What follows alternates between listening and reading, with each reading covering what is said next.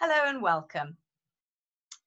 In this webinar, I'd like to share with you how you can implement an effective social skills program at home with your child with autism, but including all of your children in shared fun activities. We're going to be thinking about how you can adapt a tried and tested social skills program called Lego Therapy at home. And by way of an introduction, Lego Therapy is a program where children work together to build Lego models. And through this structured, um, planned activity, they gain social skills that are very important for day to day life, such as turn taking, collaborating together, and social communication. Social skills are learned. Typically developing children seem to learn them very easily. They learn them spontaneously and readily apply these skills to playing with other children. They learn from each other.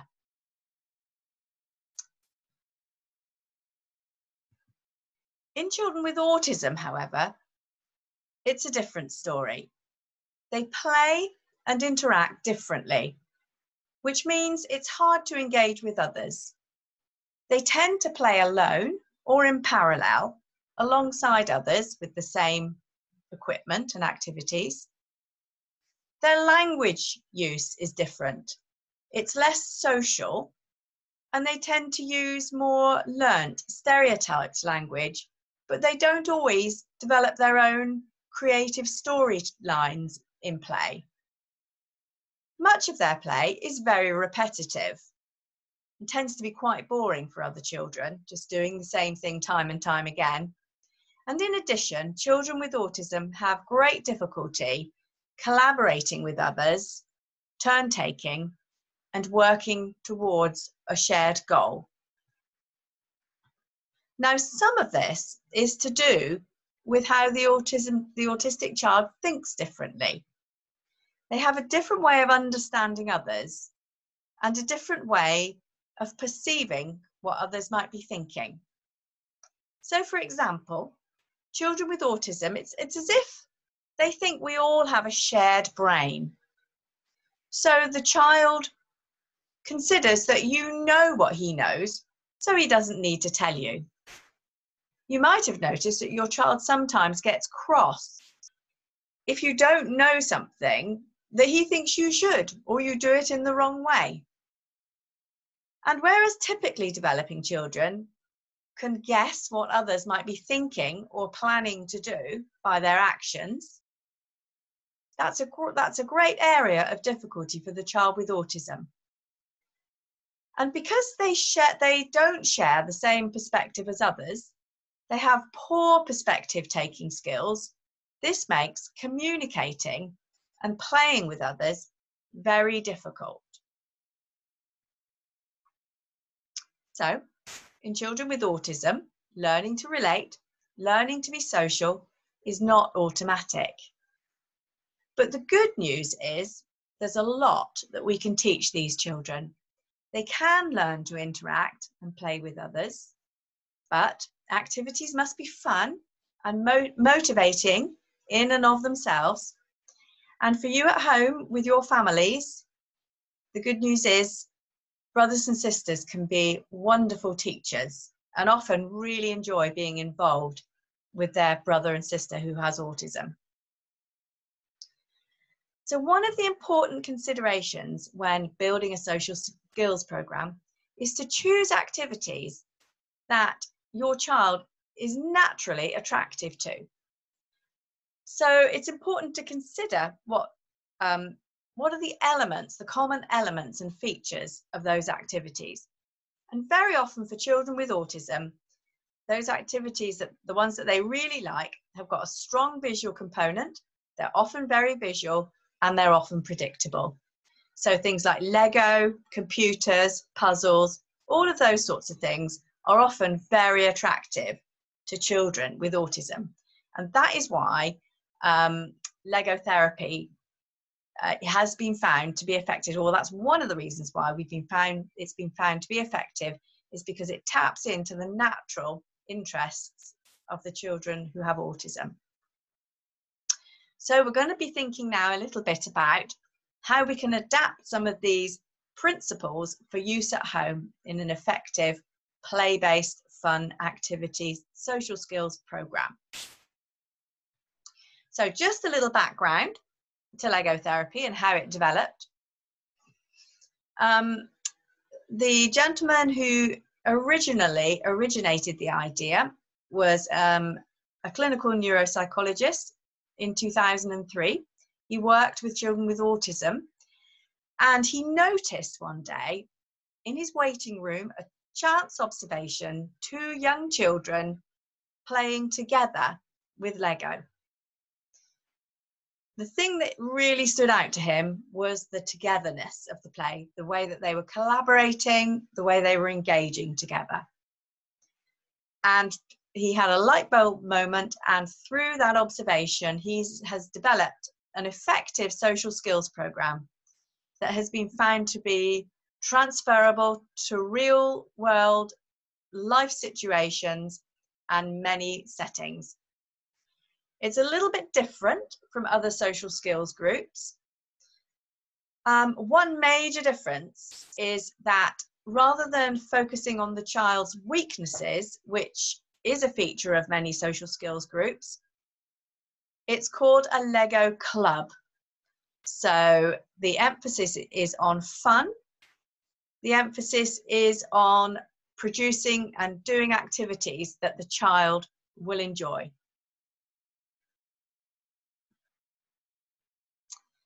The main goal of Lego therapy is to build those types of skills that help autistic children get along better with peers and siblings, play together and collaborate. It's really important as children grow older that they learn these skills because everybody, no matter how hard they find it, at some level really wants friends and relationships with others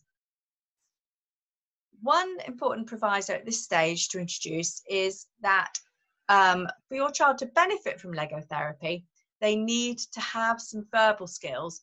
They need also to be able to follow some visual and verbal instructions. Now, these can be very simple, but they do need to be able to follow some. So, other goals, very important goals, that we work on in Lego therapy that children with autism do find difficult. Number one, sharing attention. Children with autism tend to follow their own focus of attention.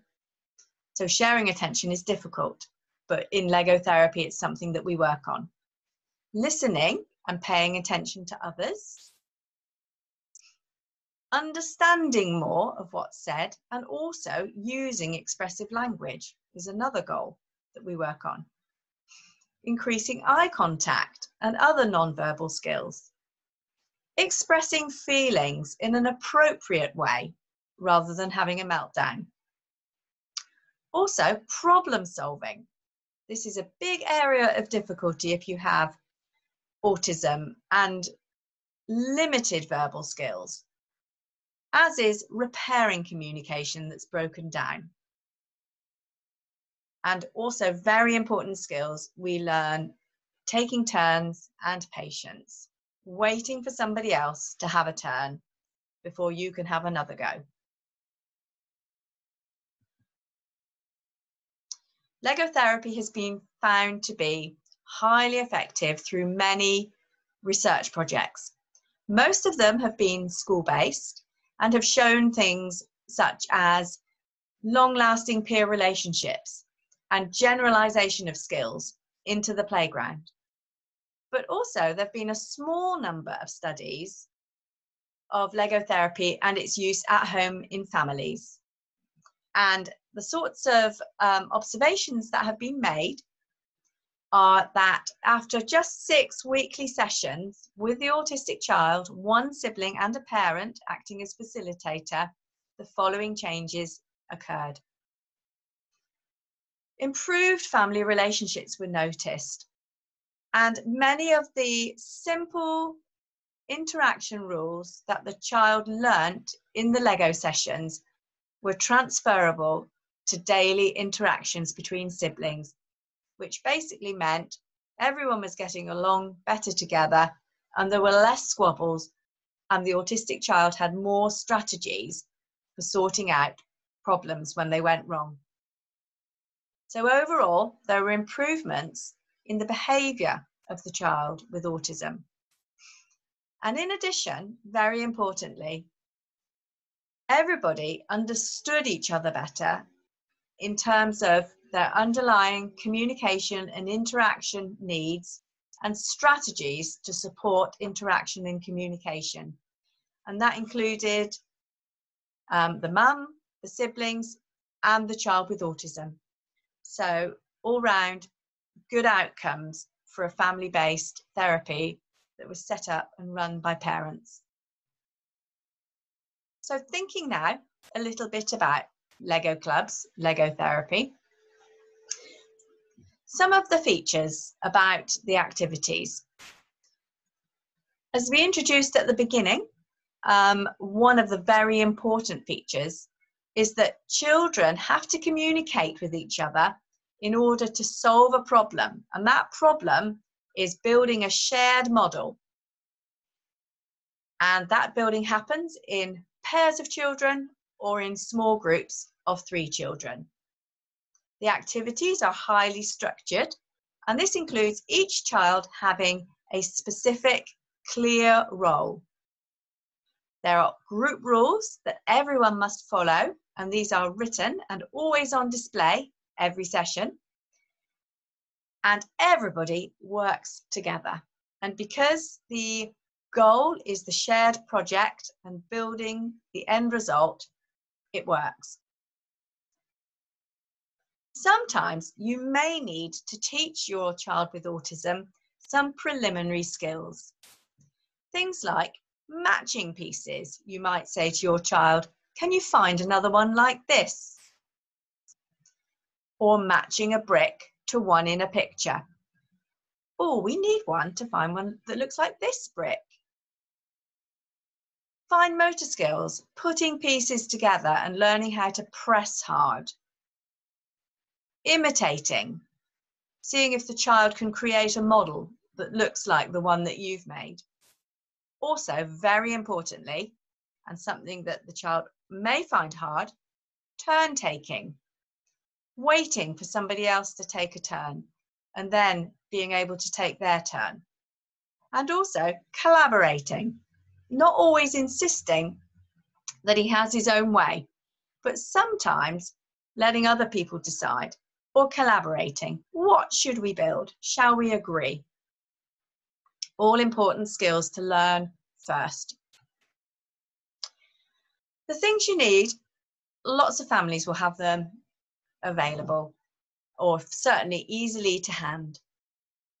So you'll need a sheet of Lego club rules handy if they can be laminated.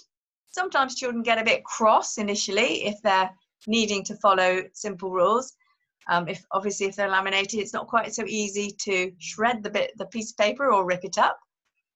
Um, every child will need a, a, a little card describing their role. And the three roles are builder, supplier, and engineer. And we'll talk a little more about those later.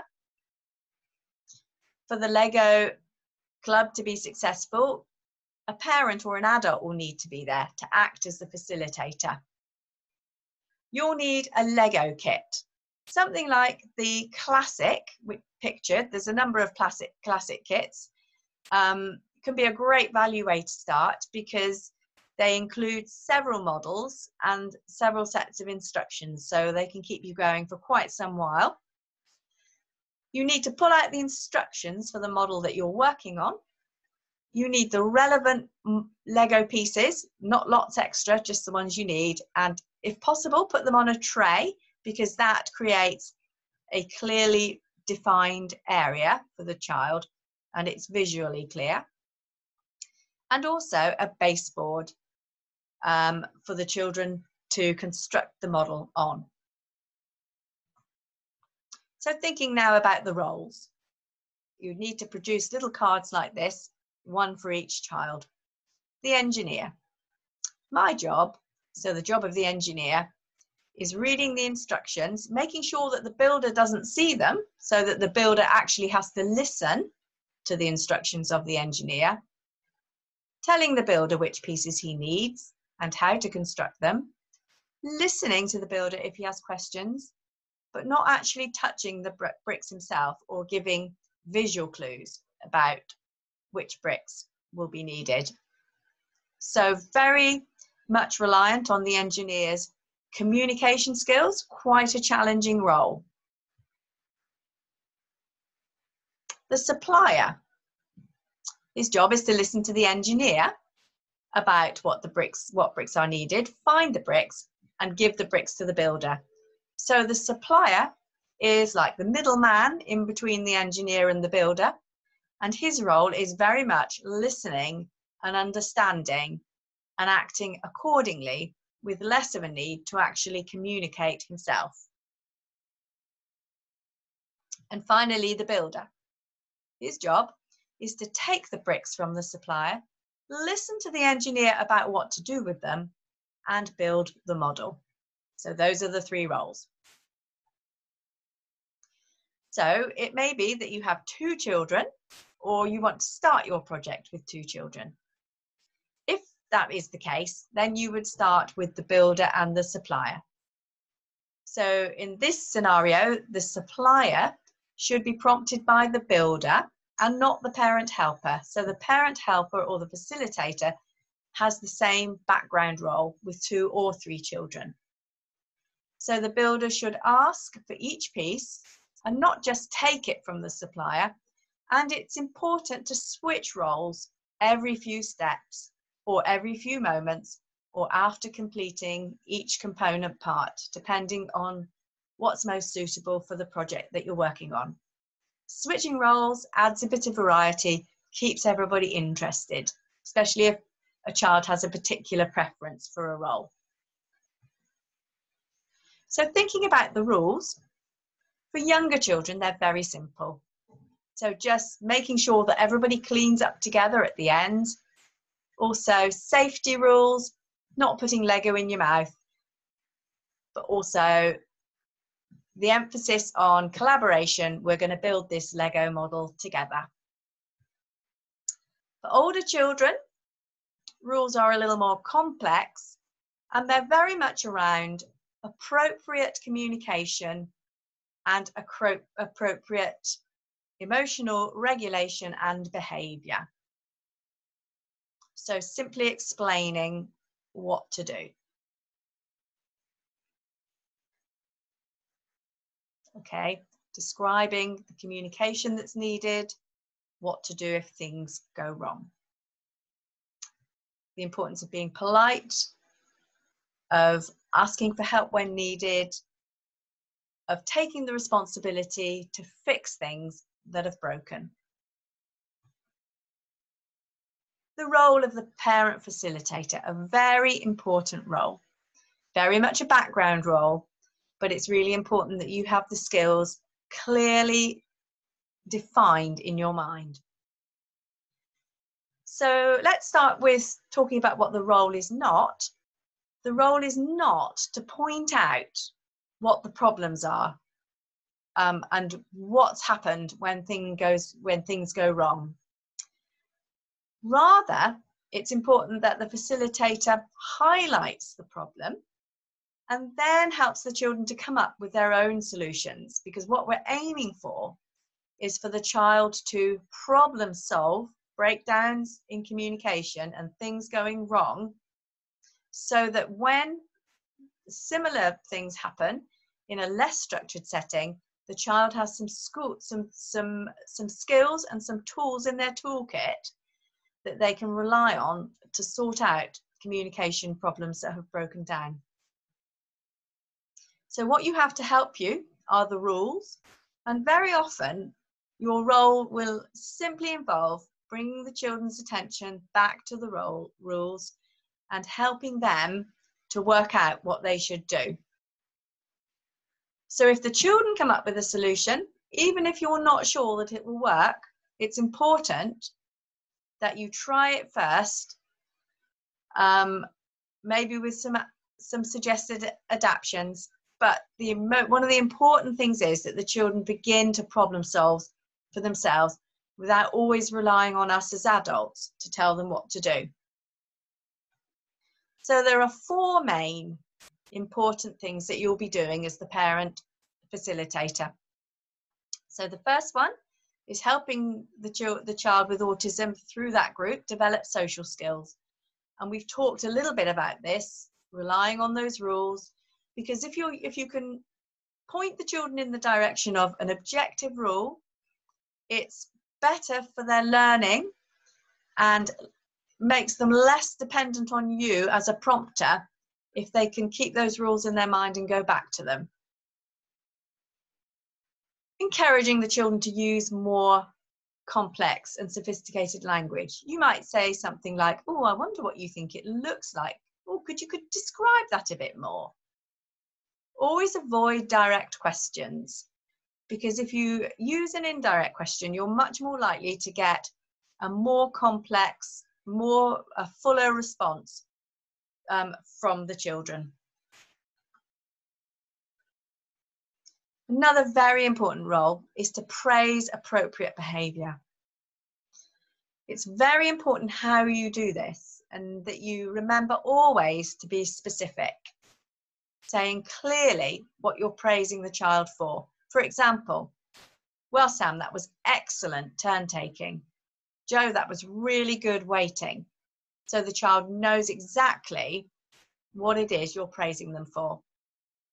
And finally, the fourth important role is to prompt problem solving.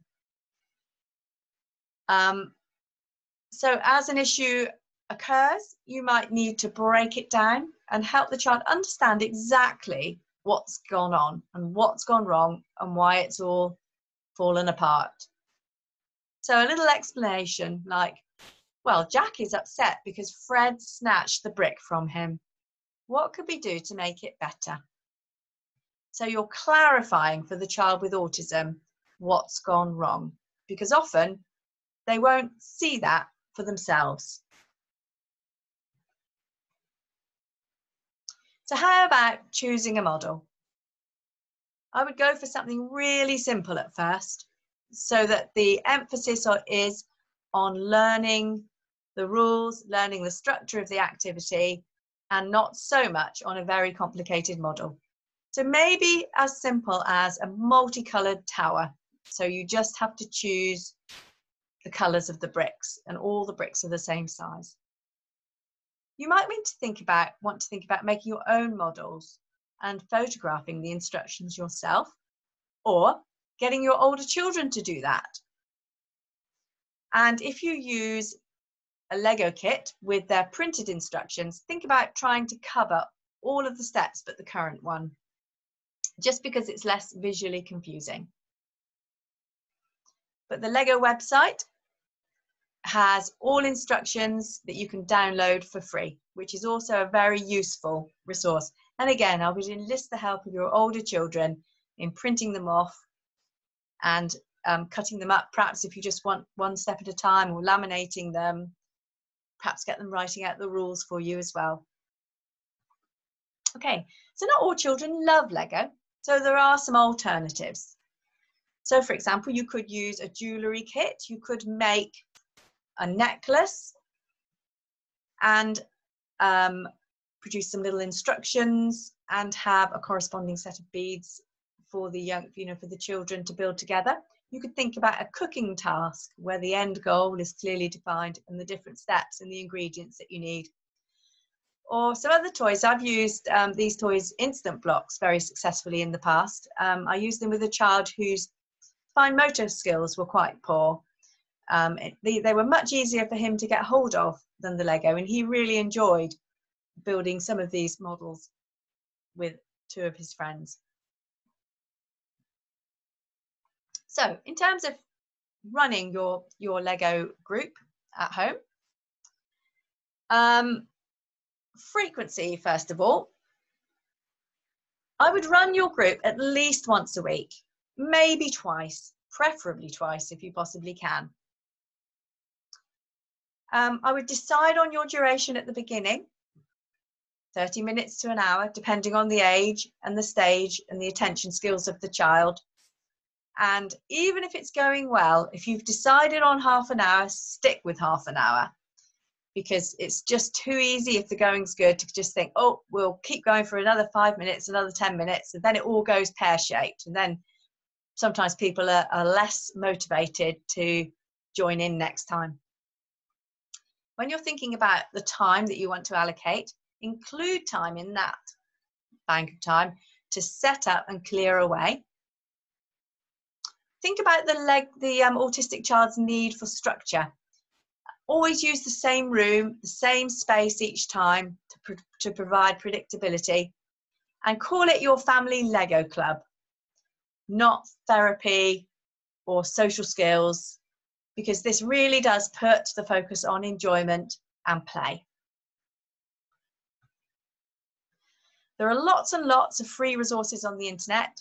You can have a look at YouTube. There's lots of little clips of um, children involved in Lego therapy, which will just give you some ideas and hopefully some inspiration. And also there, there are there's loads that, that's freely downloadable, things like the role cards for the supplier and the engineer and the builder, the rules, they're all there for you.